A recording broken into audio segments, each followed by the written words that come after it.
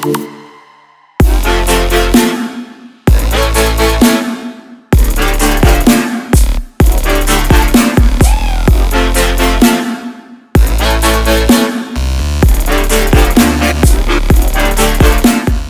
what's going on everyone? It's the RC Genius, and today I'm driving the Animus 18TR.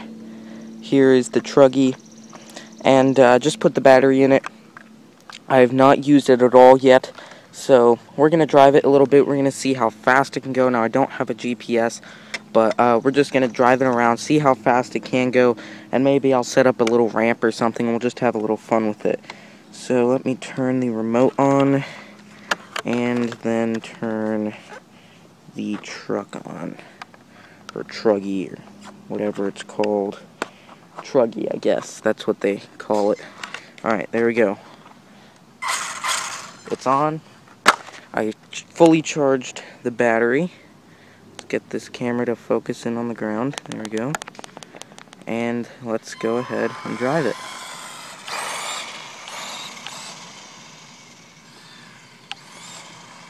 I think I might, I don't know. I don't know if it needs a little, I think it might need a little bit of steering trim work. Um,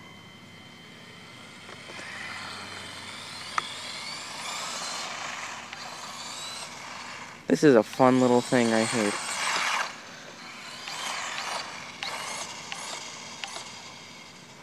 This is pretty cool.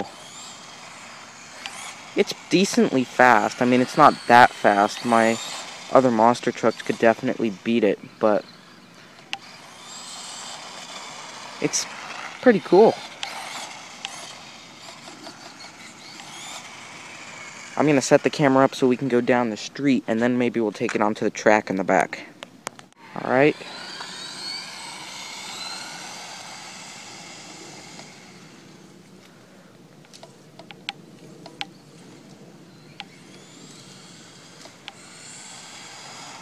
For such a little vehicle, it's actually really fast.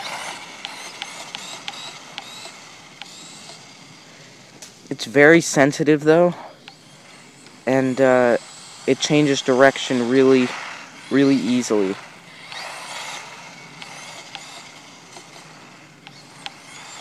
And I think I can actually do a donut with it. Eh, not really. Okay, before the battery dies, let's go to the back, go on the track, and uh, see how I can handle some jumps. Okay guys, so the battery on this vehicle is actually not uh, that that big. It's only an 1100 milliamp hour battery, which is not bad. I'm not going to lie, I actually was just driving it uh, a couple minutes after I just finished that first part in the street and I'm actually going to drive it in the mulch bed in the front yard a little bit, not on the track because the track's actually really muddy, uh, and I didn't think about that, but I don't think that this little thing can handle the, the mud. But right now it's handling this mulch pretty well. And this mulch is like, you know, bumpy and off-road-like for sure, so it's actually hand handling it quite well.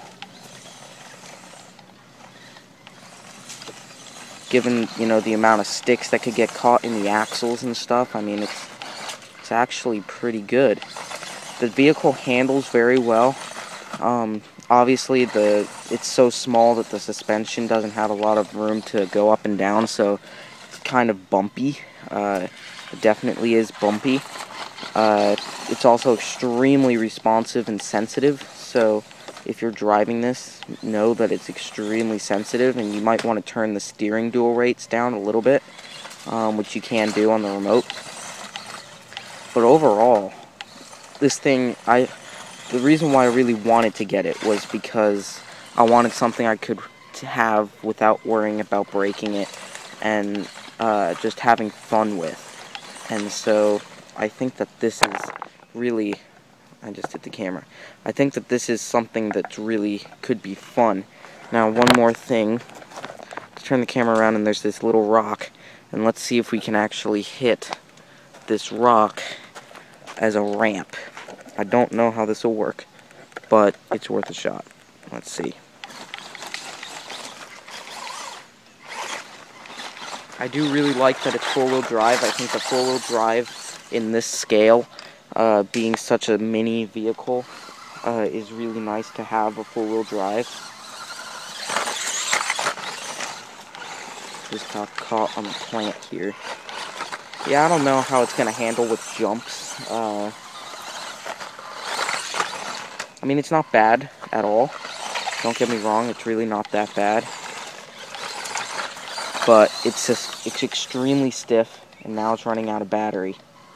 Um,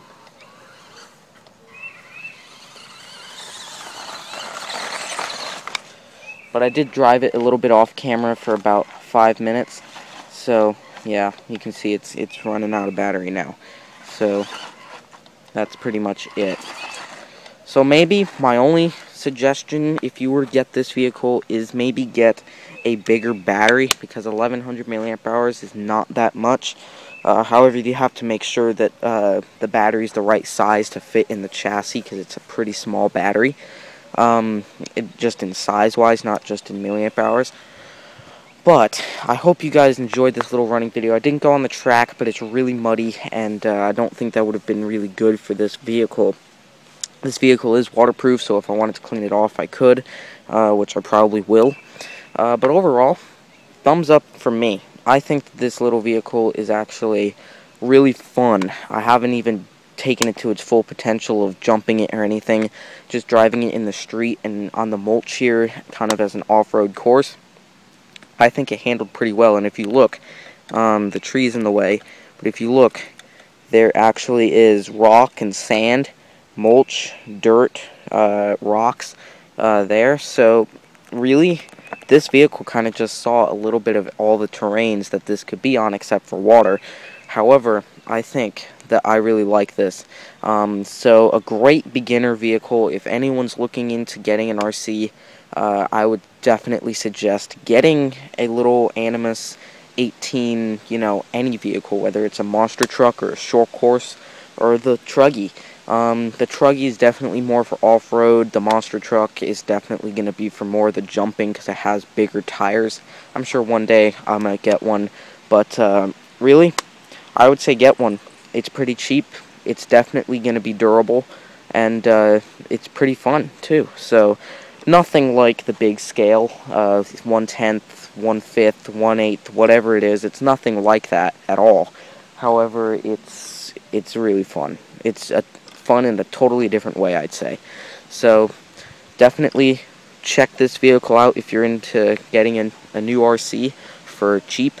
And, uh, yeah. So, thank you everyone for watching. Please like and subscribe. And I'll see you guys next time on the RC Genius.